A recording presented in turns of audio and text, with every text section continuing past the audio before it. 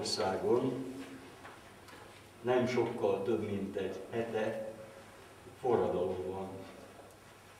Azután a bizonyos vasárnap után, amikor lelepleződött Gyurcsán Ferencnek a nyilvánvaló hazudozása, azután a BBC angol nyelvű adásában lehetett hallani azt, hogy Magyarországon forradalom van. Aztán Wittner Mária Kossuth téren mondta azt, hogy forradalom van. Én most itt Nagykanizsán mondom azt, hogy forradalom van.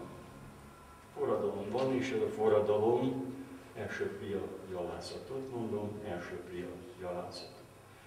Nem érdemes a médiákat hallgatni, kivétel talán egy csöppet még, amíg létezik a hírtelevízió, mert aki hallgatom a hírtelevíziót, az tudja, hogy fel akarják számolni a hírtelevíziót is.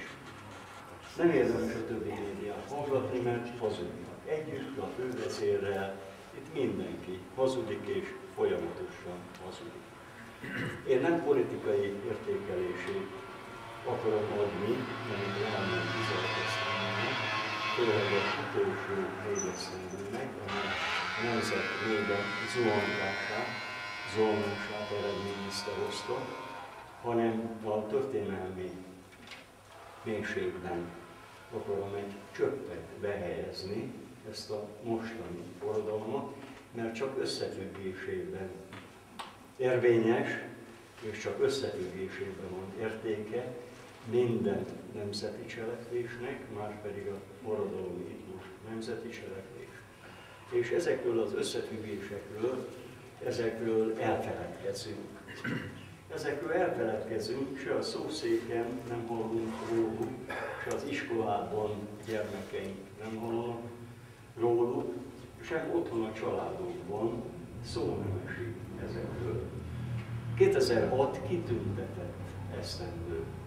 Kitüntetett esztendő nem valamelyik politikai párt tüntette ki ezt az esztendőt, hanem a Teremtő Isten. Krisztus születése előtt 400 évvel ért egy görög bölcselő, Herakleitos, aki a következőt mondta. Isten nem rejt el semmit. Isten nem mond ki semmit. Isten jelez. És ezek a jelek nem a világhálón érkeznek, nem is SMS-ként kapjuk őket, ezek a jelek nem a médiában mutatják meg magukat, ezek a jelek a lelkünkben mutatják meg magukat. Ebben a pokoli zajba oda tudunk figyelni arra a csöndre, amely lehetséges lelkünk legmagasabb, nem a legmélyén, akkor ezeket a jeleket vesszük, megkapjuk. Folyamatosan kapjuk. A Teremtő Isten nem haragudott meg ránk, nagyon szeret bennünket magyarokat. Azt is mondhatnám, hogy kitüntetetten szeret bennünket magyarokat, csak mi nem figyelünk rá. Mi el vagyunk foglalva azzal, ami nem onnan, hanem innen irányból érkezik. Nos, ez az esztendő azért is kitüntetett, és Nagykanizsán ezt nem kell különösképpen hangsúlyoznom, mert a trianoni gyalázat napja, a nemzet keresztrefeszítésének a napja, június 4-e, ebben az esztendőben egybe esett pünkösre. Pünkösről annyit illene tudnunk, hogy pünkös a szabadító ünnep. Pünkösd a szabadító ünnep, pünkösdön annak idején, régen, de minden esztendő volt, hogy ez megtörténni, a zsidóságtól nagyon félő apostolokat a Szentlélek, amely aláereszkedett, megszabadított minden félelemtől. Mondom, minden bőrstől, minden félelemtől. Ők ezen a zsidó ünnepen, amikor is a mózesi törvényeket ünneplik, ők ezen a zsidó ünnepen ott voltak Jeruzsálemben, 12-en már Mátyásról kiegészülve, és a hagyomány szerint boldogasszony, ami örök boldogasszonyunk, Szűz Mária is ott volt közöttük, ő volt a 13 és nagyon féltek. Nagyon féltek, félelmük kettős gyökerű. Az egyik gyökér az azért valósult és vastagodott bennük és általuk, mert amikor az ő mesterük eltávozott, égre távozott, akkor rájuk bízta azt a dolgot, hogy menjetek és tanítsatok minden nép. Ők nagyon szerették a mestert, nagyon szerették a mestert, de alkalmatlanok tartották magukat arra, hogy a mester kérését valósítsák. A megfelelési kényszer a leges legnagyobb félelemnek a fészkét adja ma is. A gyerekeink tele vannak megfelelési kényszerrel. A megfelelési kényszer iszonyú betegséget okoz a felnőttnél is. Ezt érzi otthon az anya, az asszony, érzi otthon az ember, a férfi, érzi otthon a kisgyerek, mert annyit várunk a másiktól, és olyat várunk a másiktól, aminek ő nem tud megfelelni. Most az a megfelelési kényszer, ami a apostolokban volt, az nagyságrendel több és másabb annál, amit naponta kell élnünk ebben az eszeveszett világban, mert ez a világ eszeveszett. A másik gyökere ennek a félelemnek, az apostoli félelemnek az volt, hogy a zsidók keresztre feszítették az ő mesterüket. El tudtak bánni azzal, aki maga az Isten volt, hiszen Jézusban Isten született közé fiúnak. Ha így el tudtak bánni, Isten fiából, magával az Istennel, akkor bármikor, akármikor velük is el tudnak bánni. És ott tombol a Mózesi nép, ünnepel, és ők nagyon félnek. És tessék azt egy söpöt elképzelni, hogy ők 12-en, illetve 13-an keresztények csak. Nincs több keresztény a világban. Körülöttök a hangos, az ünneplő, a zajos, iszonyatos világ. És akkor, mint a szél támadna, ablakok kinyílnak, és kettős lángnyelv jelenik meg minden apostol fejetől.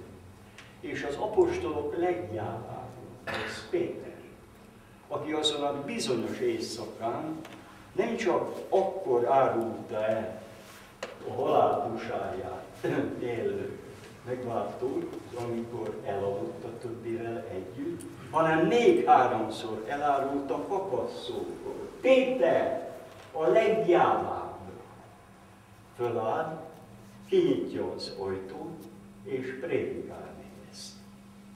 Ez a Szentlélek ereje. Ez nem a nagy tőke ereje, ez nem a pártok ereje, ez nem az Európai Unió, a NATO vagy az Egyesült Államok ereje, a világ legnagyobb ereje a Szentlélek. Aki befogadja pünköstől a Szentlélek erejét, akár milyen körülmények között is él, akár mekkora is benne a megfelelési kényszer, akár mennyire is rettek attól, hogy mi lesz holnap után, a félelme elmúlik többet már nem tud férni. Mondom, többet már nem tud férni. Ez pünkös szabadító ereje. Pünkös szabadító ereje, és pünköstől kezdve a kereszténységben egyetlen egy törvény érvényes. Minden mózesi törvény eltöröltetett. Minden. Szokták volt kérdezni tőlem a tíz parancsolat is. Igen, a tíz parancsolat is. Mózesi törvény bölcsöt adó mózesi törvény. Egyetlen egy törvény van érvényben, azóta is, ha valaki tényleg keresztény, ez pedig a szeretet. A szeretet pedig nem más, mint hogy minden napon, ha kell a napnak minden percébe, le tudok mondani valamiről. A társamért, a gyerekeimért, a szüleimért, a hazáért. Ha kell, az életemről is. Ez a szent. Ennek példája. mutatta Jézus. És mondja János evangéliuma, új törvényt hoztam nektek. Szeressétek egymást, ahogy én szeretlek benned. Egyértelmű, tiszta, világos közlés. Arról ismerjenek meg benneteket, hogy szeretitek egymást. Ez a kereszténység. Ez nem a judeo-krisztianizmus, ez a kereszténység. Jézus ezt az új törvényt hozta nekünk, és pünköskor, minden pünköskor ezt az új törvényt a Szentlélek erejével megerősíti meg. Nos, a Kárpát hazában, mert a haza a Kárpát haza, van egy hely, ez Csíkson, amelyik pünköst hely, amelyik a szabadításnak a hely, amelyik a nemzet fölemelkedésének a hely. Csíkson. Ha valami ezt a népet, Trianon gyalázata fölé fogja emelni, az akkor Csíksonyon. Isten akaratából az ott lévő napba öltözött asszony, Baba Mária, ami arra boldog asszonyunk okán. Ebben az esztendőben módosítottam a előadást, mutattam már Csíkson előtt is. Bárhova utal, akár egyetemi órára kellett mennem, én arról beszéltem, hogy mindenkinek föl kell kerekedni ebben az esztendőben, mert jelet kaptunk Istentől, mert a szabadítás ünnepe egybeesik, ami gyalázatunknak ünnepével. Mondtam azt is, hogy a második háború után a legveszettebb bolsevizmusban még volt főpapja ennek a hazának. Nincs főpapunk, látszólagos főpapok vannak azóta is, de ezek nem nevezhetők főpapnak. Hadd ne minősítsen őket, a munkájuk minősíti őket. Ezt a főpapot Mincenti Józsefnek hívják. Mincenti József a letartóztatása előtt, talán ez is közrejátszott abban, hogy letartóztatták, a következőt mondta. Ha másfél millió magyar együtt tud imádkozni, akkor a Jóisten megszabadít bennünket a bolsevizmustól. Másfél millió magyar nem tudott együtt imádkozni. A határon túl arra nyugat felé, na nem Szlovéniában, hanem Ausztriában, több mint két millió osztrák együtt tudott imádkozni, amikor leszentült a nap a családokban, a templomokban, a szent összegyűlve imádkozták a rózsatűzért.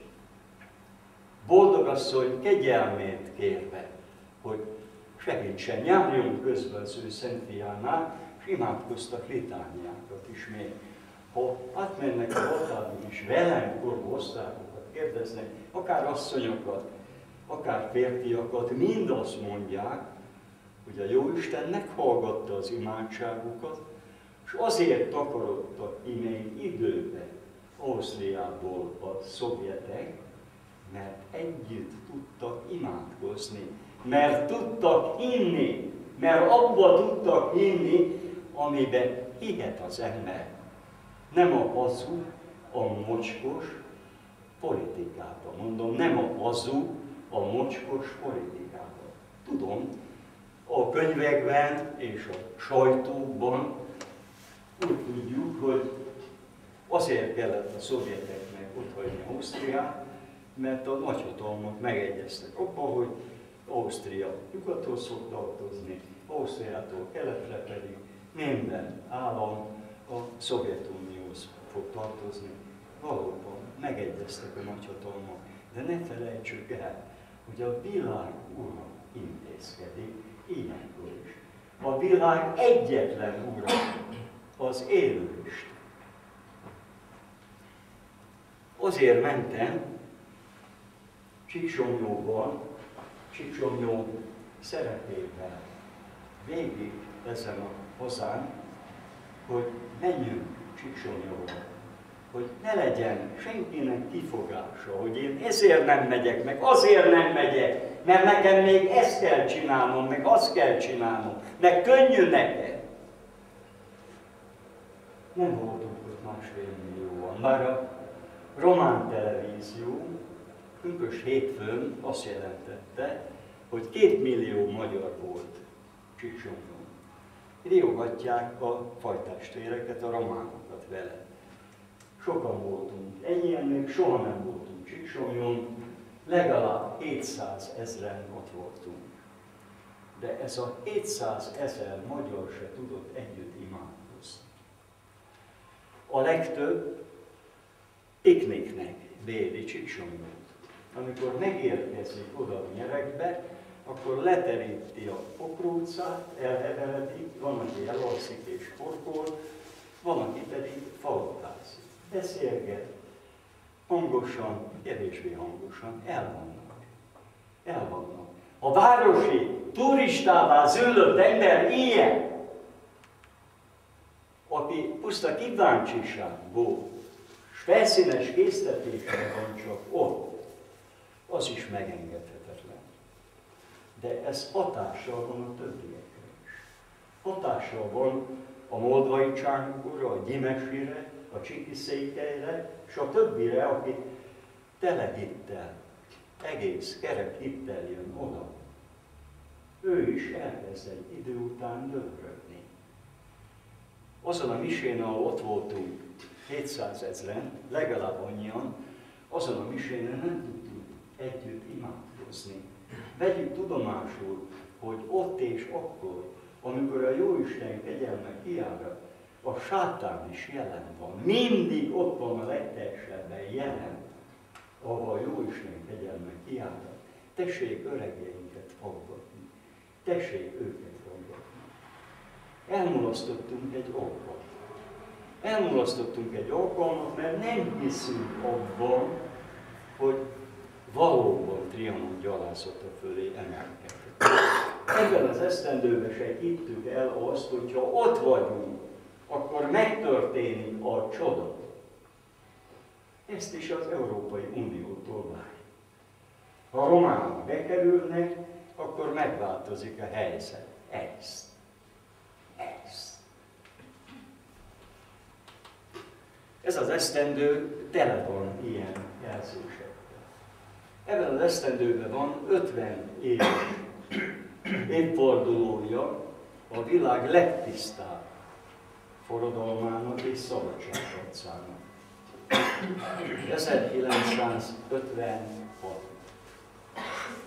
1956 500 évvel később történt, mint ahogy Inyadi János és az őt segítő Kapisztrál János, később Kapisztrál Szent János megveri a mai Belgrádnál, Nándorfehérvárnál a török. 56-ban is jelet kaptuk. Mi, akik elkezdtük a tüntetést. Mi, diákok, akik kezdeményeztük, hogy föl kell kelni, hogy ébresztő.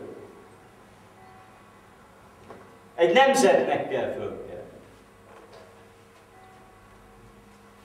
Hunyadi János győzelme okán a mai napig a keresztény országokban, sőt már nem csak a keresztény országokban, déli harangszó hangzik.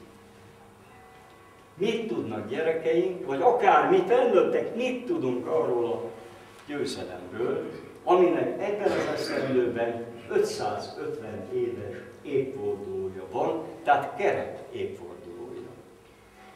Tudjuk-e azt, hogy a európaiak akkor tanácskozásra gyűltek össze, amikor a török igen nagy seregben megindult Európa el. A török sereg jól felfegyverzett katonákból állt, jól kiképzett katonákból állt, és hites katonákból állt. Hatalmas az európaiak kétségbe voltak esve, tanácskoztak, mert tudták azt, hogyha a gyülevész, jól hallották, a gyülevész európai hada akarnak szembeszállni a törökkel, eredménnyel, az nem siker. Mondom, nem siker. Európának gyülevész rittel lovagjai voltak, akik alkalmasnak bizonyultak akkoriban, és csöppet később arra, hogy 40 millió indián írtsanak, de alkalmatlanok lettek volna arra, hogy a törököt föltartóztassa. Akkor az olasz származású Ferences szerzetes, Kapisztán János lobbizott az érdekünkbe. Ma ezt úgy mondják, hogy lobbizott az érdekünkbe.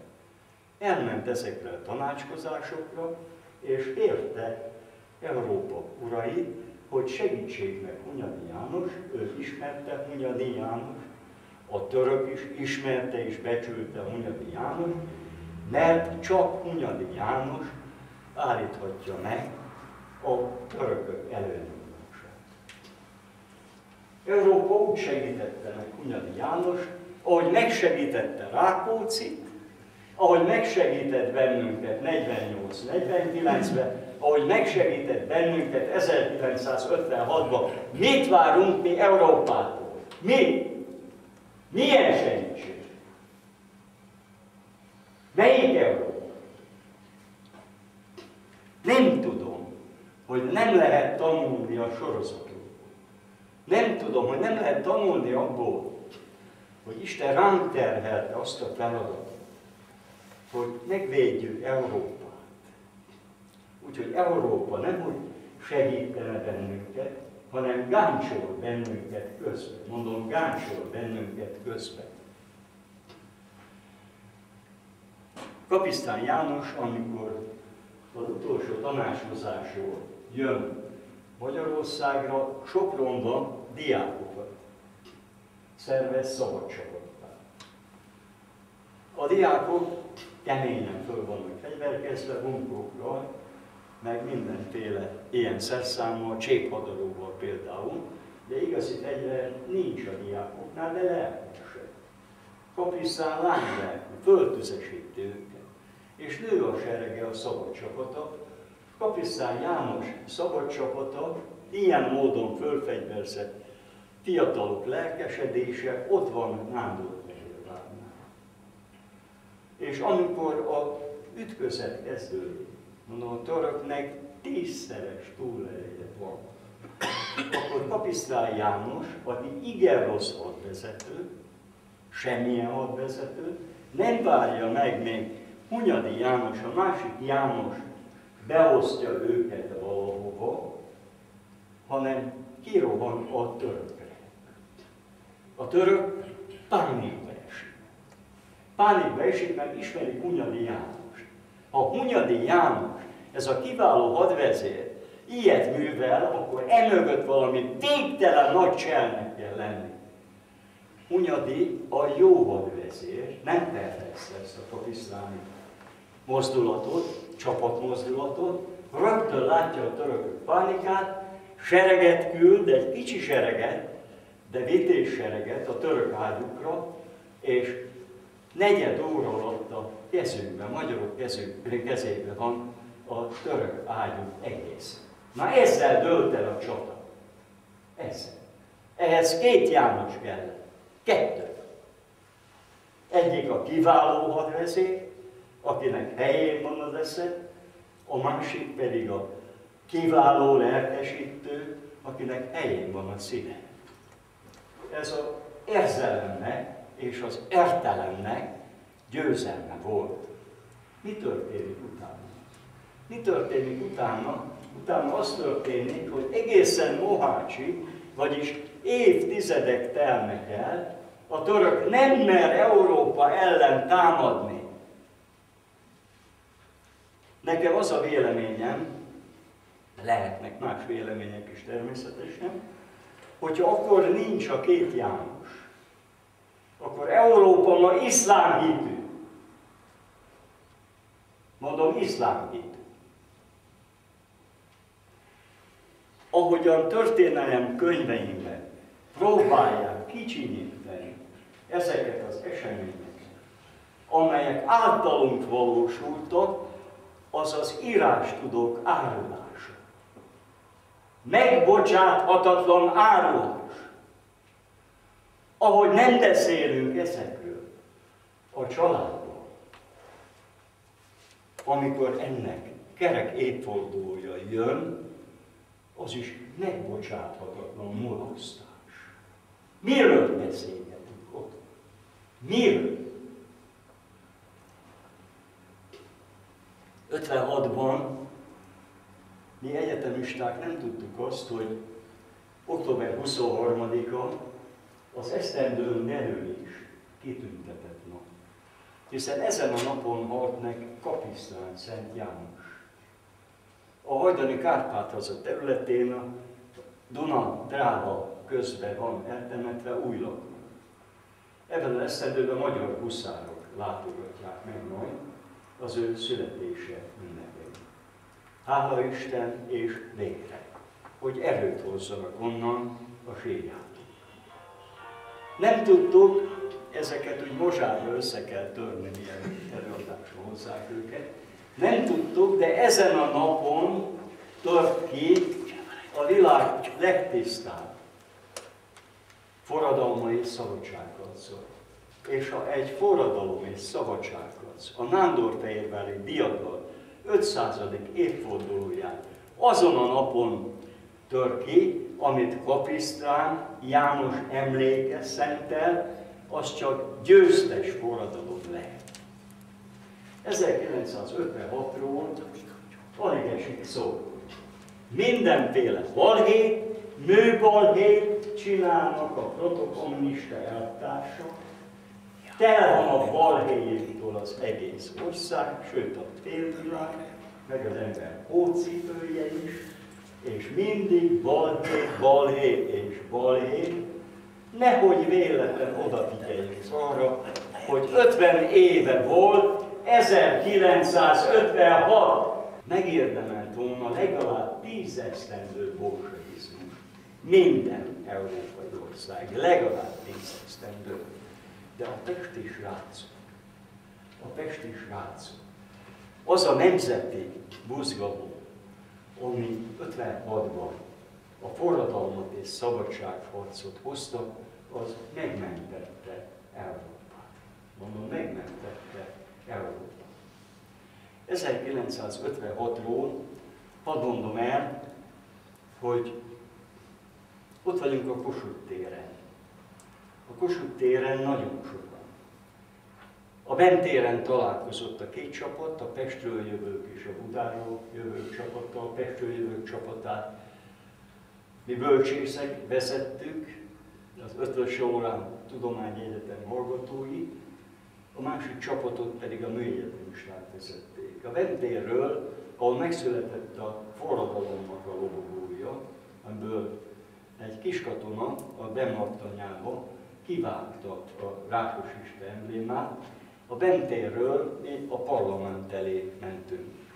Amikor mentünk a parlament elé, már hangszórós kocsik voltak mellettünk, és a hangszórós kocsik azt az új jelszőt hozták, ami eddig még nem hangzott el, hogy ruszkik haza. A forradalom akkor ott vált szabadságharcá, ott azon a útszakaszon. Azért mentünk a parlament elé, mert már Nagy Émre volt a kormányfő, és vártuk, hogy Nagy Émre majd mond valamit. Amikor először kijött az erkélyre, mondott is valamit, azt mondta, hogy eltársa. Amire hatalmas fügykoncert támadt, és Nagy Imrének vissza kellett venni. Mikor másodszor kijött oda elé, akkor már azt mondta, hogy barátaim. Nem volt fügykoncert, de csalódtunk abban, amit mondott, mert elé beszélt, nem mondott semmit. Egyetlen esemény az volt, de ez fontos esemény, mert a változás ekkor történt igazán, amikor teherautók jelentek meg, teherautókon fiatalok, a fiatalok kezében nemzeti zászló, és azt kiabálták, hogy magyarok a rádióhoz, gyilkol az álló. És ahányan voltunk, megindultunk a rádió felé. Az ávó gyilkolt. Az egyetemisták, a műegyetemisták a rádióba be akarták vinni a 12 pontjukat, azzal a szándékkal, hogy a rádió ezt a 12 pontot olvassa föl. A rádiót AVH-sok védték, a rádióban nem engedték be őket, akkor a múzeum kert melletti részen, azzal szemben, még nem volt a modern rádióépület, ott kerítés volt, egy egyetemis kislány azon a kerítésen át akart mászni a petícióból, de lelőtték őt. Ő volt az első halott. Forradalom első halottja egy ismeretlen egyetemista kislány. Amikor mi odaértünk, akkor már a helyén, ahol meghalt, ahol a vére volt, gyertyák égtek. Akkor ott a kerítésen már ott volt a forradalomnak a zászlaja. A rádiónak az ostroma sokáig nem kezdődhetett el. Amikor mi a Rákóczi útról rákanyarodtunk a múzeum körútra, akkor kiskatonák százával találkoztunk, és ezek a kiskatonák fegyvereket osztogattak a fiataloknak. Puskákat, meg géppisztolyokat. De nem volt hozzá történt. Őket kivezényelték azért, hogy védjék meg a rádiót a huligánok ellen, de vaktörtént kaptak. Osztogatták a fegyvereket. A rádió előtt állt egy magyar páncélos, ő is azzal a parancsal érkezett oda, hogy végje a magyar rádió, de a magyar páncélos lőfegyverébe se volt éles töltény, csak vaktörtény. Az ostrom az úgy kezdődött, hogy minden ablakból az ADH-sok tüzeltek. Nevetséges volt az, hogy néhány ember, aki a környéken lakott, hozta a Flaubert puskáját, mondom a Flaubert puskáját, ami lehetett otthon, és azzal próbált visszalövöldözni a rádió épületébe. Tragikomikus volt sokáig, és étél előtt egy fél órával talán megjelennek a szovjet képviselők. Iszonyú volt a megjelenésük. Székesfehérvárról jönnek, és a múzeum körúton dübörögtek, a nagy körúton is, meg más helyütt is dübörögtek, mi azokat láttuk és hallottak. A szovjetek nem avatkoztak abba, ami ott a rádiónál történt, bizonyára, bizonyára róla. A szovjetek kell egy időben érkeznek teherautók a lámpagyárból.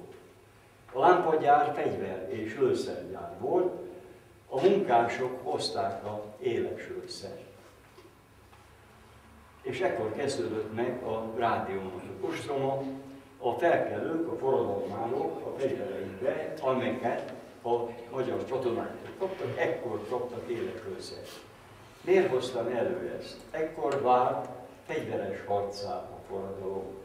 Ekkor vált olyan fegyveres harcá, hogy néhány óra alatt, néhány óra alatt a felkelők bevették a rádiót. De a rádió bevételénél egyetlen egy tollat nem vettek el. Egyetlen egy fiókot nem törtek föl. Ezt azért hangsúlyozom, mert ezt a forradalmat a protobolsevikok úgy akarták, és akarják folyamatosan lejáratni, ahogy azt láthatták a úgynevezett TV ostromán, ahol fölhergeltek közöntényeseket, ahol fölhergettek olyan fotballszurkolókat, akik nem azért járnak a meccsre, hogy a gólokat figyeljék, hanem szeretnek verekedni, és ott hagyta a rendőrség Prédának, mondom, ott hagyta Prédának a magyar televíziót, hogy a randalizálás megtörténjék. A forradalom nem ilyen! Ez mocskos provokáció volt. Aljas mocskos provokáció. Nem, hogy nem vittek el semmit a rádióból, a forradalmáról, hanem azoknak az ADH-soknak, akik védték a rádió épületét, a hajaszála se gördült, már akik nem voltak meg a tűzharcban. Akik a tűzharcban megsebesültek, ugyanolyan ellátást kaptak, mint amilyen ellátást kaptak a szabadságharcosok, a sérült szabadságharcos.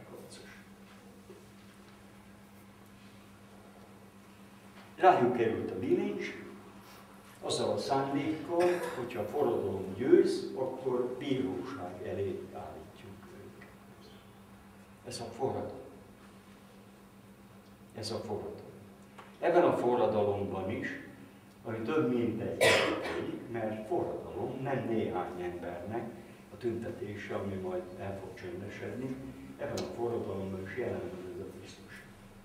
Jelen van ez a végtelen tisztaság. Én két nap előtt Szegeden voltam, Szegeden a fiatalokkal, gimnazista korú és egyetemista fiatalokkal jártuk körbe belvárost, néhányszor, jelszókat kiabálva, öröm volt közöttük lenni, 50 évet fiatalodtam. 50 évet fiatalodtam, újra az az egyetemista lettem, aki ott menjek a múzeum körúton, karóba, többiekkel, és kiabálom azt, hogy demokráciát, meg aki magyar velünk tart. Lényegében ugyanokat a jelszókat kiabáltuk, és aztán szólaltam hozzájuk, ott a egyik kivilágított épület előtt, nem tudom melyik középülete volt az Szegednek, és holnap jönnek föl ők is Budapestre. Mondom, holnap jönnek föl ők is Budapestre. Azért mondtam ezt, mert azokon a helyeken, Kaposváron is, meg Pécset is, ahol láttam a tüntetéseket, és a Kossuth téren is, ahol jelen voltam, a tüntetésekben ugyanaz a tisztaság található, mint amit elmondtam a rádió ostromok kapcsán, a világ legtisztább forradalmáról. Még egy emléket hadd idézek, mert ez is fontos. 25-én, október 25-én, csütörtökön, reggel a Nagy Éve kormány közleményt tesz közzé a rádió. A közlemény tartalma az, hogy néhány fegyveres banda, így hogy mondom, még ellenáll. Elszigetelten harcol. De csapataink sorra felszámolják ezeket a gócokat. Nagyon mondja. Ezért fölkérünk mindenkit, hogy menjen a munkahelyére, menjen iskolába, aki diák, és a tulajdonosok nyissák ki az üzleteket. Ebben a közleményben az is szerepel, hogyha tíznél több ember csoportosul, akkor a bennünket védő szovjetek lőni fognak. Most erről a véres sütörtökről hadd mondom én azt, amit értem. Nem az újságból olvastam felőle, hanem értem a Forradalmi Diákbizottság egyik tagjaként két társammal a Pesti Barnomás utcából törekedtünk a Rákóczi útra, ott volt a lánydiákszálló, egy zsák kenyeret vittünk a lányoknak, mert a lányok nem mentek kimenni kenyeret vásárolni, és üzentek nekünk, hogy baj van. És mi szívesen mentünk. A Kossuth utcán, ez a Kossuth utca, ez a Múzeum körút, a Kossuth utcán itt láttunk egy kilőtt páncélautó, szovjet páncélautó, abban négy vagy öt halott volt, és minden szovjet halottnak a szívére volt késsel szögezve szárnyképe. Nyilván nem azok szögezték oda, akik kiégették ezt a páncélautót. Mentünk tovább, és azt láttuk, hogy itt az Asztória, az Asztória mellett a villamos megállónál három férfi ember egy negyedikre próbál a sinekről elvonszolni. Ez vagy sebesült volt, vagy halott volt, nem tudtuk messziről megítélni, de mindenképpen sietősre vettük mi is a léptünket, és segíteni akartunk. Mások is jöttek még oda, valószínűleg tíznél többen lehettünk, mert azok a szovjet páncélosok, amelyek ott álltak az Asztória mellett, lőfegyverekkel errefele irányulva, meg visszafele irányulva, akik ott álltak a múzeumkertnél, ugyancsak lőfegyverekkel erre és arra irányulva, akik itt álltak az Uráni, Uránia mozi környékén, ugyanazzal a feladattal, mint a többiek, és itt a Odinozi környékén, a kőúton, azok egyszerre kezdtek tüzelni. Ösztözet kaptak. Nem tudom, ki élt meg ösztözet, hogy teljesen fegyvertelen, és semmiféle lehetősége nincs, hogy kerüljön. Mert ez nem akármi. Ez nem akármi, ez nem egy gagyás amerikai film, de hasonlókat. És ilyenkor, amikor az ember teljesen ki van szolgáltatva a véletlen halálnak, ilyenkor nem az történik, hogy az ösztön, ezt próbálják elhitetni velünk, hogy az ösztön az úgy pasra vetteti az ember, hanem ott áll mellette az őrző és az lerántja a föld. Ahányszor visszaemlékszem én arra, hogy hogyan terültem el ott a földön, amikor az ösztűz elkezdődött, mindig úgy emlékszem vissza, hogy valaki lerántott. Nem a bajtársam rántott le, egész. És itt az olajakat, hadd emlékeztetem arra, hogy Észak-Zalában mai napig a velem öregek azok az utcán mennek, egy kicsi részt hagynak az őrangyal. Mondom, egy kicsi részt. És ezektől az öregektől tudom azt, hogy a csecsemő gyerek, ha éjszaka félálomba gögyörészik és mosolyog, akkor az őrangyalával beszél. Akkor érzi meg, hogy megkapja az őrangyalát. Igen, valahányunknak van őrangyalunk. Hiszünk-e benne? Hát, sokan igen, hála Isten. Sokan meg nem hisznek benne. Sokan ilyen nagy darab embereket kérnek meg arról, hogy vigyázzák az életét. Őrangyal működött, akkor még nem volt a fényes gomb, itt a Rákóczi útját a múzeum körül sarkának, balán volt itt egy levonvázott épületet körbekerítenből, és mi bekúsztunk ide a lánykollégiumba. Nem tudom hány perc telhetett, mert a félelem perceit nem lehet mérni. Iszonyú félelem munkát bennünk, iszonyú félelem, elmondhatatlan félelem, talán hasonló, mint az apostolokban ott, akkor régen Jeruzsálemben. És amikor csönd lett, elhallgattak a fegyverek, akkor kijöttünk a lánykollégiumból. Kijöttünk a lánykollégiumból, és iszonyú kép fogadott bennünket. Itt ez a környék tele volt halottakkal. Terítve volt halottakkal. Akkor, amikor mi kimentünk, akkor néhányannál gyertyákat égettek a halottak mellett, letakarták halottakat nemzeti színű zászlókkal, és ami a legiszonyatosabb volt, az az, hogy itt a lánykollégiumhoz közel volt egy telefonfülke. A telefonfülkébe két fiatal menekült be, szerelmesek lehettek, mert fogták egymás kezét. És amikor meghaltak, alig lehetett a kezüket szétszedni, mert bőrsbe lett összefogott. Ezeket a fiatalokat, ezek a páncélosokkal szállták le, gépfegyvert tűzzel, de úgy, mint a motorfűrésszel fűrészelték volna el őket, hátrafele buktak ki a telefonfülkéből, és omlott a szájukból a vér. És itt olyan halottakat találtunk, akik asszonyok voltak két szatyorról, mentek haza éppen bevásárlásból. Olyan halottakat, akik öregapák voltak, és kézen fogva vezették az unokájukat az iskolába olyan embereket, akik fegyvertelenek voltak, és igyekeztek a munkát.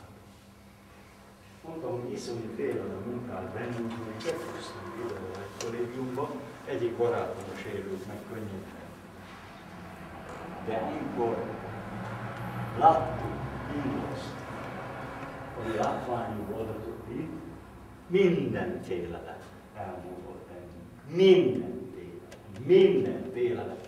Van egy foka a szörnyűség tapasztalásának, ami után nincs már félelem. Semmilyen félelem. És mi fegyvertelenül oda mentünk az egyik szovjet páncéloshoz, amelyik ott állt a Asztória mellett. Mi egyetemisták ott dobogni kezdtünk a páncélos tetején, akkor már jöttek oda a többiek is, akik ott a halottakkal voltak elfoglalva, sebesültekkel. Jöttek oda a többiek is, dobogtunk a páncélos tetején, és egy idő után egy ilyet szovjet katona kidugta a fejét a páncélosból. Velünk korú fiatal és amikor elkezdtünk vele beszélgetni, könnyű volt szót érteni, hiszen akkor a kötelező nyelv az egyetemen a orosz nyelv volt, akkor kiderült, hogy ők azt hitték, hogy Suezbe vannak, és ez nem mese. Mind a két nagy hatalom akarnak. Mi tudtuk azt, ekkor még nem késő, hogy október 20-án a Tiszán a szovjetek ponton hidakat vernek. Mondom, ponton hidakat vernek, és Szovjetunióból megkezdődik a páncélosok és egyéb harci járműveknek az átkelése a Tiszán. 20-án, nem 20 Ugyanis akkor volt a Suezi konfliktus. És a szovjetek be akartak avatkozni az arabok mellett ebben a konfliktusban de közben kitört a magyar forradalom és szabadságharc, és a két nagy hatalom a mi bőrünkre megegyezett. Mondom, a mi bőrünkre megegyezett. Abba, hogy a szovjet nem bántja azt, ami Sueznél történik, nem avatkozik abba, cserébe pedig a nyugatiak nem avatkoznak a szovjet dolgában, itt Magyarország igen szúrészfoglalós. Ezek a ukrán fiatalok sírtak. Mikor megtudták, hogy Magyarországon vannak, sírtak. Sírtak, mert a testvérük, a nagybátyjuk vagy az apjuk, aki itt harcolt Magyarországon, az a magyarokról jókat mondott neki. Sírtak. Ezekre a páncélosokra 10 perc múlva rákerült a Kossuth címer.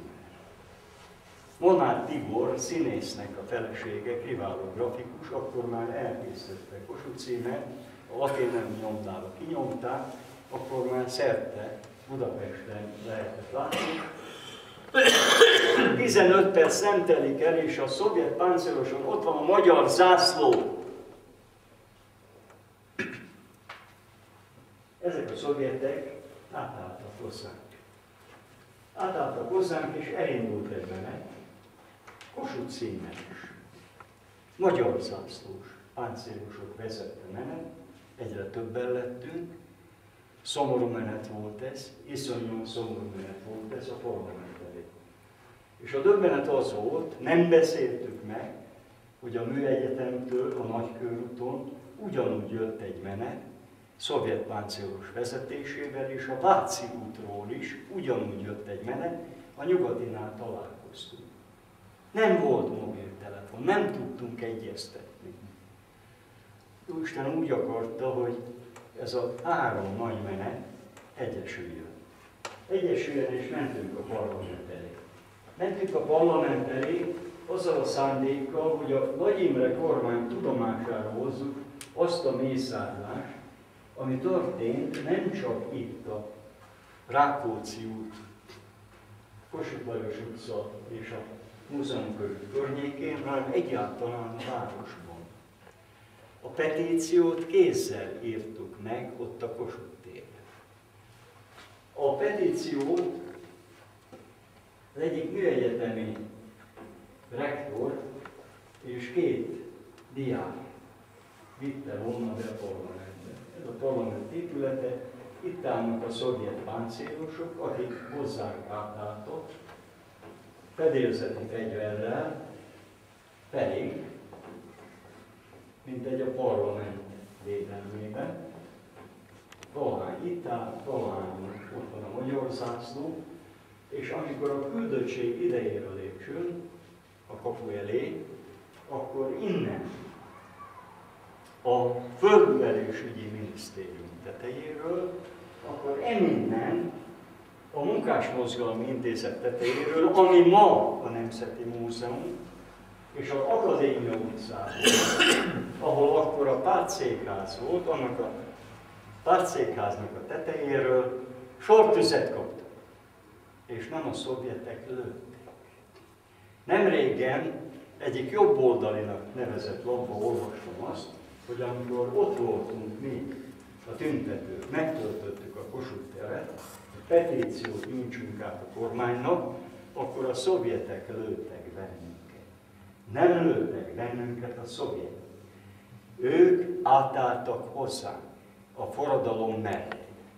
Nyilvánvalóvá az AVH-sok lőttek bennünket, hogy nem mészároltak le bennünket, mindegy számot, akik ott voltunk téren, az annak köszönhető, hogy ezek a szovjet páncélosok visszalőttek.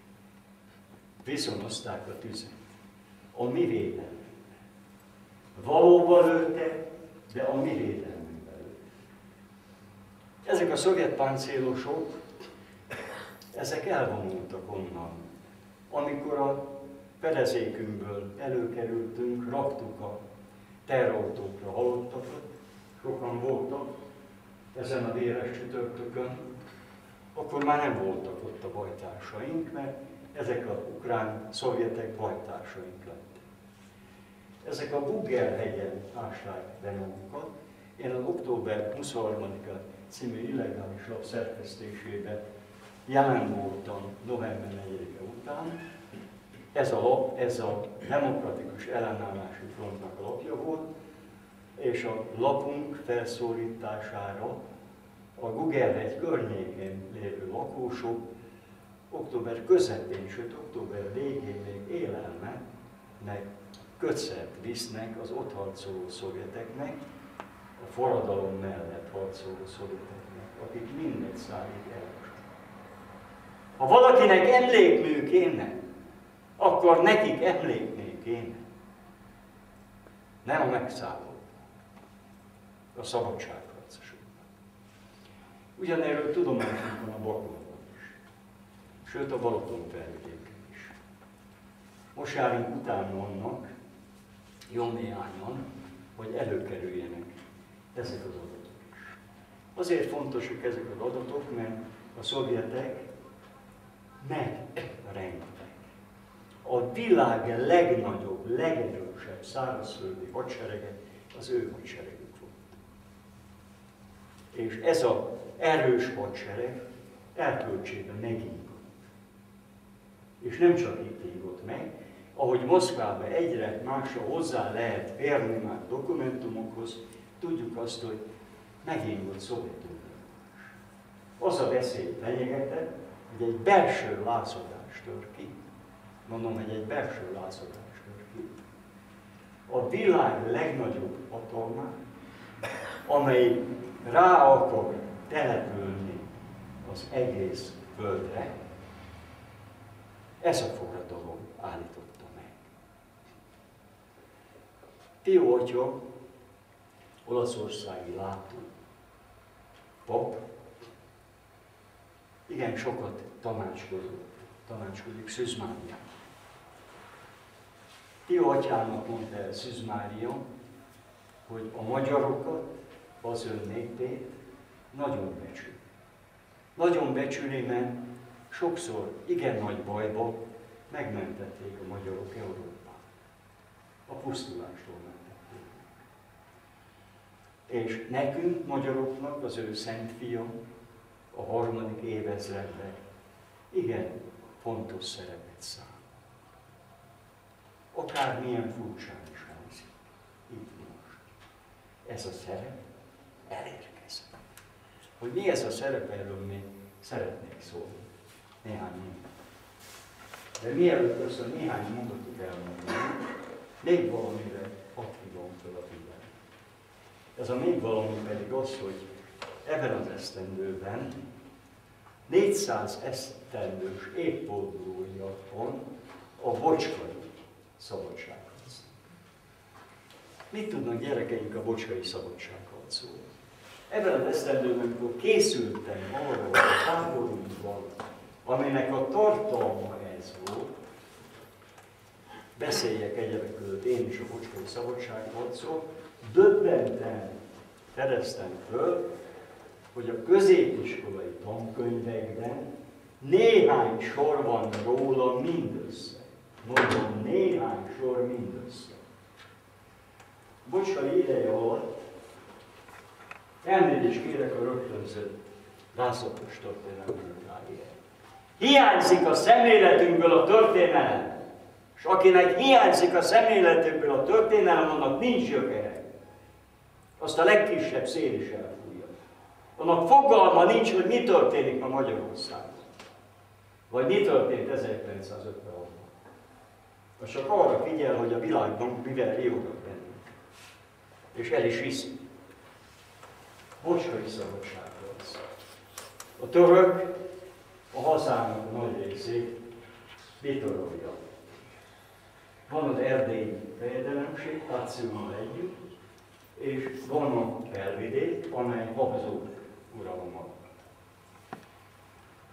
Bocskai István kisnemes, Debrecen környékéről származó, aki diplomataként az erdélyi fejedelmek megbízásából jár a töröknél, jár a Habsburgnál. Ismeri a törököt, ismeri a Habsburgot, mind a két fél Bocskait becsüli. Becsüli azért, mert becsüli. Ma egy újságíró kérdezte tőlem, hogy van-e politika hazugság nélkül. A politika ellen a hazugság. De akadtak politikusok, ilyen volt Bocskai István is, akik nem tudtak hazudni. Akik nem tudtak hazudni, akiket minden becsült. Ilyen politikusokat ma nagyítóban nem lehet keresni. Mondom, nagyítóban nem lehet keresni. Gondoljanak csak Bush elnökre, aki méltó társa ennek az idiótának, akit Gyurcsának hívnak, ennek az őrült idiótának. Méltó társa.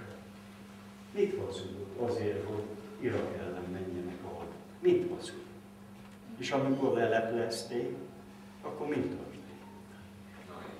Nem minden politikus volt ilyen, és a mi történelmünkben különösen nem. A igaz politikusok között Rákóczi mellett a legeső nagyobb Bocska István. Basta vadon megszállja, gyönge erdei fejdelemség van, van Olábajda is már, megszállja a is. A hosszú uralján, Basta olyan adókat vett ki, ismerős a tétel, hogy éheznek az emberek. Marosvásárhelyről és más szekelyvárosról azt jegyzik föl, hogy a halottak húsát eszünk meg. Itt a Kárpátban Básta iszonyú módon végrehajtja azt a hazug utasítást, hogy elhagyta a katolikus hitét, azt le kell mészárolni. Mondom, azt le kell mészárolni. Iszonyú mi van ebben a hazában. Ilyen körülmények között Bocskai István Debrecen környékén szervez egy kicsi hodat. Tessék oda figyelni rá. Nem az számít, hogy hányan szavaznak a protokollsaikon. Egyáltalán nem számít. Az számít, hogy neked, aki magyar vagy, mekkora a hite, vagy van-e egyáltalán hite. Az számít. Többi mellé beszél. Ebből ott nincsen. Tessék odafigyelni a tényekre. Egy kicsi marokkai csapat, ott toborzódott Debrecen környékén, megtámadja az osztrák generálisnak a hatalmas csapatát. És nincs igazi harc. Nincs igazi harc, szinte egy óra alatt eldől a csapat. Azért, mert az ország generális csapatában hajduk hajduk vannak, a hajduk lenézett népség volt a arisztokraták által. És ezeket a hajdokat, ezeket maga mellé tudja állítani néhány jól célzott kiáltással Bocskai István. Tudta, hogy mit kell kiáltani. Ezek nem jelszavak voltak. Utána történik a nagy csoda, az, hogy felvidék meghódol. Harc nélkül. Meghódol először Kassa. Kassa után Epeljes. Epeljes után Érsek Végig, végig, egy hónap nem telik el, Bocskai hajdújé az egész felvidék. A török annyira becsül Bocskai, esze ágában, hogy nincsen, hogy kihasználja a Habsburg és a magyar közötti viszálykodást, esze ágában nincs a török, nem használja ki. Annyira becsülő Bocskait, hogy koronát küld neki. Koronát! Hogy ő legyen a király. Török által küldött koronában nem koronáztatja meg magát, a magyar szent koronával sem, bár a rendek szeretnék, ha ő lenne a király. Méltatlannak tartotta magát a magyar szent koronát. Bocsainak a serege két-három hónap múlva a Csemedencébe van, a Morváknál és Dél-Ausztriában. Ott van Bécs falai alatt. Egy maroknyi sereg indult el, nem azt kell nézni, hogy hányan mondják azt, hogy Gyurcsány takarodj. Azt kell nézni, hogy mekkora. Mert ez fordul. Ez nem egyszerű, szimpla, sima tűnt. És bocskai majd adott. Ha hitünk van, Isten mindig ad nekünk ezt. És megkötik a Bécsi a Bécsi béke páratlan. Páratlan diplomáciai tett, páratlan alapvetésű. A Bécsi béke ugyanis kiköti azt, hogy a Habsburgoknak semmi közük a felvidékhez. Magyarország egyetlen négyzetcentiméteréhez sem. Bocskai István nem csak Erdély fejedelme, hanem fejedelme a felvidéknek is. És az általa kijelölt a Bécsi békének egyik alaptevése, és most tessék tudni, hogy minden egyháznak, az evangélikusnak, a reformátusnak és a katolikusnak egyenlő joga van. Tessék hozni ennek a nyugati példát. Egy, egy, egyet tessék hozni. Egyet. Kik oktatnak ki bennünket a demokráciáról? Kik? Kik ők? Miféle demokrácia valósult Franciaországban, amikor a Szent Bertalan éjszakán ezrével ölték meg azokat, akik nem katolikusok volt. Miféle demokrácia? Amikor ezrével tették földön futóvá azt, aki nem akar franciául beszélni. Miféle demokrácia a többi országban? És mikor? Hol? Tessék már példát mondani. Egyet, egyet. Ha nincs Moskai, ha nincs a Bécsi béke, amit követett a Habsburgnak a törökkel való békekötése is, akkor Petlen Gábor Erdély nagyságos fejével nem tudja a mindenkori demokrácia alapján megfogalmazni és megvalósítani. Őt úgy hívták, hogy Betlen Gábor. Nem úgy, hogy Napóleon. Úgy, hogy Betlen Gábor. A magyarság Bocskai szabadságharc idején alapozta azt a fajta emberi együttélést, amely a szkéta fajta magyar népeknél folyamatosan jelen volt, de őt most Európának kellett példát. Ebben az eszemlőben, augusztus 20-án én Zalmegyében voltam. Zalmegyében egy kicsi faluban, hegyközségben, Dedesen Dedesen, ami Zalalövőhöz tartozik, már régóta.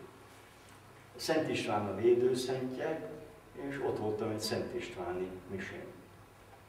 Nagyon jó volt ez a Szent Mise, de olyan erősen perzseltem ott, hogy csorgott a hátamon belépték, pedig csak egy ember voltam. Érezni lehetett, hogy valami nagy vihar jön. Amikor a Szent Miséről házigazdánkhoz tartottunk hazafele, akkor már látni lehetett azokat a felhőket, amelyek éjszakai sötétséget hoztak. Iszonyú volt a látvány, de szél kerekedett. Nagy szél kerekedett, nem is annyira lent, hanem fent. Lehetett látni, hogy kergetni a felhőket. A felhők sokasága, mint valami hatalmas sereg, vonult át fölöttünk. Néhány csepp, kövér csepp az leesett, de eső igazából nem volt. És amikor elvonultak a felhők, akkor az égen megjelent egy hatalmas kettőszivár. Üzenet volt Istentől. Ez a sereg nem ellenetek jön.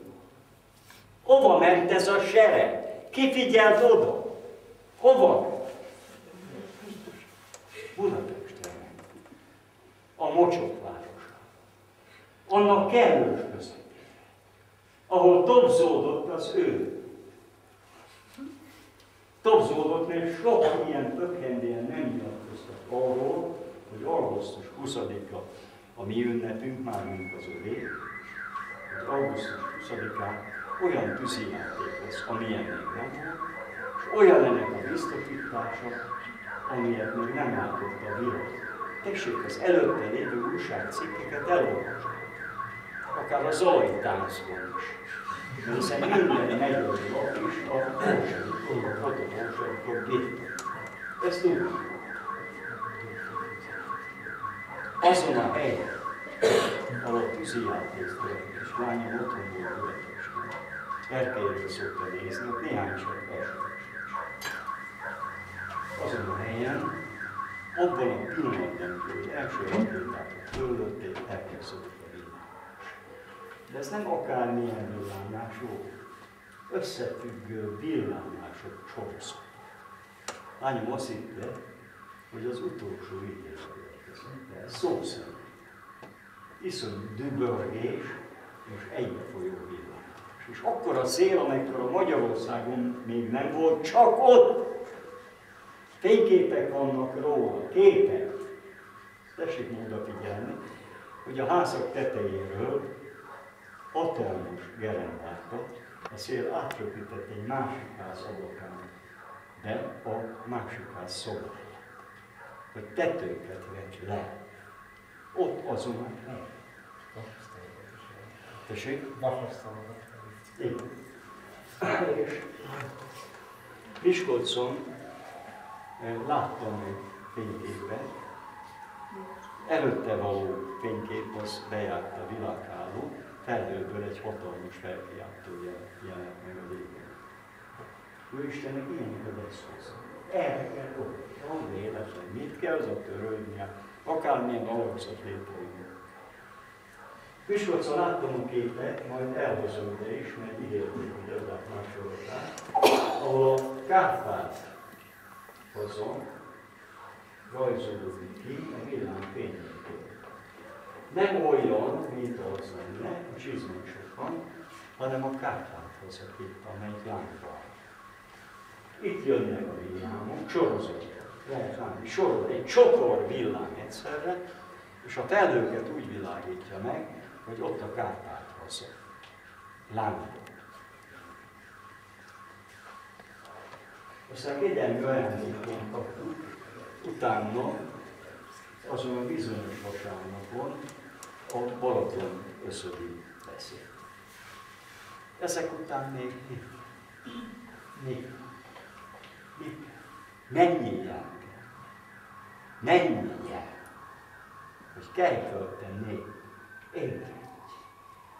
És ne hivatkozz senkire és semmi. Eszembe jött egy anekdóta. Árvíz van, és a szegedi plébános úrhoz megy egy szekér. A szekér tulajdonosa szól, hogy plébános úr a legjobb holmikat, azokat rakja föl a szekérre. Aztán menjünk, mert elfogja a plébániás, és öntani az áradat. Plébános azt mondja, ugyan éve. Örülök a jóságának. Nekem a jó Isten meg. Menjen, barátom, máshol segít. Összejön az áradat, bemegy már az ablakon, és jön egy só. A sónakos ismét szól a plébános úrnak, hogy plébános úr. Most már csak kevés holmit ér föl, de legszükségesebbeket még ide rakhatja a csónakba. Üljön be a csónakba, hadd mentsük meg. Ugyanazt mondja. Engem a jó Isten majd meg. Menjen máshol segíteni. Aztán plébános úr már kapaszkodik a kéménybe, Árvisz teljesen elöntötte plébánia épületét, jön egy helikopter. Leengednek egy hátsó. A plébános úr most már csak a Bibliáját hozza, hogy maga kapaszkodjon föl, mert megmentjük a veszedelemtől. A plébános mondja, hogy ugyan kérem, hát engem megment a. Aztán fönt van ott a Jóisten ítélet széke előtt, és mint a bólás úgy panaszkodik. Morog, mint a bólás kutyát. Uram, én benned bíztam, hogy te megsegítesz engem, és hagytál, hogy beleveszek a vízbe. Mert a jó Isten is ettől ilyen jó, azt mondja, mert küldtem neked egy szeget. Küldtem neked egy csónakot, küldtem neked egy helikoptert. Mire vártál? Küldi nekünk a jeleket. Mire várunk még? Mire? Mire? Hogy ufonautóként megjelenjen szkafander. Jelek itt vannak. Ebben az esztendőben csak győztes forradalom lehet, csak győztes. Higgyék el, ez a sok jel mind-mind arra szolgál, amelyeket felsoroltam, hogy itt a magyarságnak Isten akaratából az ő ereje okán győzni kell. Győzni kell, és a hazugságot kell eltakarítani. Hazugság nem csak ide Itt a legcinikusabb, itt a legszentelmebb, itt a leggátlástalabb a hazugságot kell. És ebbe a segítőm az ott a befejezésül engedjék meg azt, hogy felolvasok egy rövid kiáltást. A múlt szombaton Magovec Imrének a műhelyében megalakult a Új Magyarországért Egyesület. Az Új Magyarországért Egyesület azért alakult meg, mert a Kossuth téren tüntetők megkérték Magovec Imrét, hogy segítsen. Segítsen eligazodni abban a bonyolultságban, amik egymás között okoztak a különböző fiatal politikai szervezetek, és segítsen abba, hogy akkor mi legyen a következő lépés. Makovec Imre szólt néhány olyan embernek, akit ő fontosnak tart, és még aznap szombaton megalakult a Új Magyarország Még aznap szombaton, miután ott a Kossuth téren mindannyian szóhoz jutottunk, hiszen én is abban a megtiszteltetésben részesültem, hogy Makovec meghívott ebbe a csapatba, utána Makovec Imre műhelyébe megalkottuk ezt a igen rövid kiáltványt, azóta a média ezzel mondta. Hihetetlen rövid. Nem tudják magukat túltenni rajta. A nép nevében követeljük az alkotmányozó nemzetgyűlés összehívását és ideiglenes kormány felállítását. Ez az első követelés. A második követelés a tárgyalások megkezdése. Aztán van egy záró mondat, kettő. követeléseink elódázása vagy elutasítása a tüntetések eszkaláciájához vezetett, a beadástól számított 48 órán belül választ kérünk. Aláíró Betlen Farkas, Hargitai András, dr. Kelemen András, Makulec Imre, Melakó Miklós, Molnári József, Paplajos, Posgai Imre, Szűrös Mátyás, Tőkés László. Azóta, hogy ez megfogalmazódott, és mutatták a nem médiában, látották a képét is, azóta csatlakozott hozzánk, a csapathoz, Jókai Anna, Eperjesi Károly, színész, és Berec András, akit nyilván jól ismernek itt is, a mese és énekmondó, és még többen mások. Ez kérem A forradalomnak vezérkar is van. Ez a vezérkar dolgozik. Láthatták ma is a Hír TV-be Szőrös Mátyást és Melakó Miklóst is. Láthatják azt a újabb hazugságáradatot, amivel lelepleződött a köztársasági elnökünk is, Sólyom László, aki eddig nem tudta volna az ő első szándékát, tudja. Alkotmányjogász létére azt mondta, hogy mind a két követelésünk, alapkövetelésünk érvénytelen. Ugyanis a magyar alkotmányban erre nincs lehetőség. Ez nem igaz, ez egy alaphazugságosok közül. Holnap a nagyülésen alkotmányjogász fogja a mostani, nem alkotmányból, hanem alkotmány helyettesítő törvénytárból kimutatni, hogy van lehetőség. Ez az alkotmány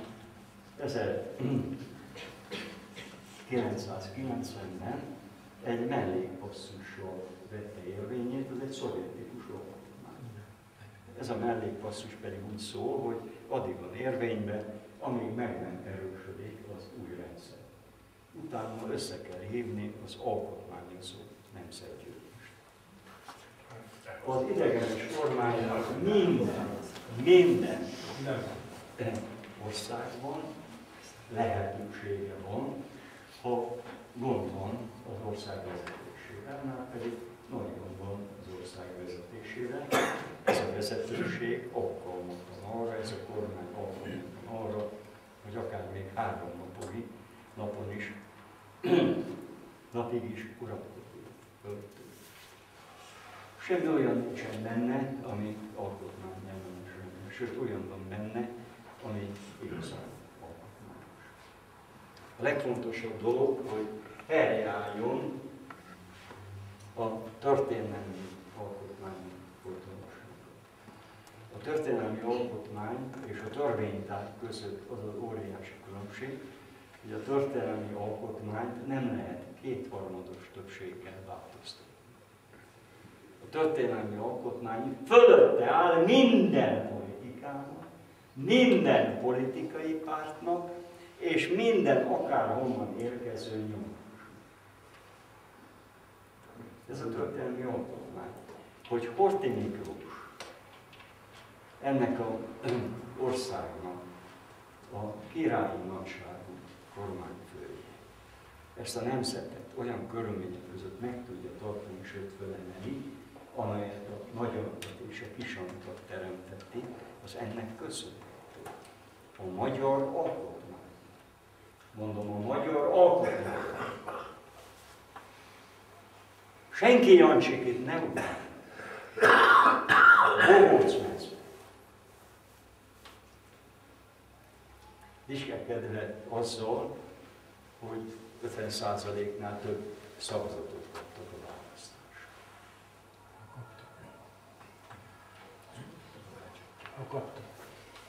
A, amit még hozzá szerettem volna tenni ahhoz, amit itt felolvastam, az annyi, hogy holnap 5 órakor kezdődnek azok a felszólalások, amelyek újabb hazugságokat is elevezik.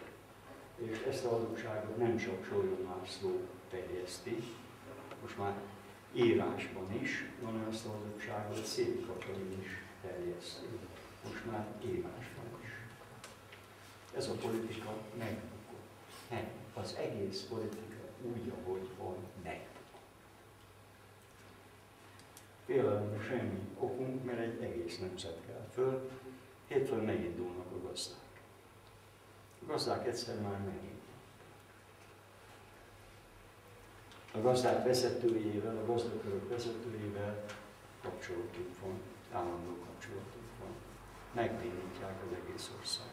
Mondom, megbénítják az egész ország. A jövő évben elindulnak a kapolósok. Elindulnak az orvosok, elindulnak az egyetemi tanárok, és megindulnak az egyetemisták és vadásodók. Ez a nemzet föl kell. Föl kell. Itt forradalom van És József Attila szavából egyik versének két csodálatos iszonyi erejű mondatából szeretném ezt a mai találkozást befejezni.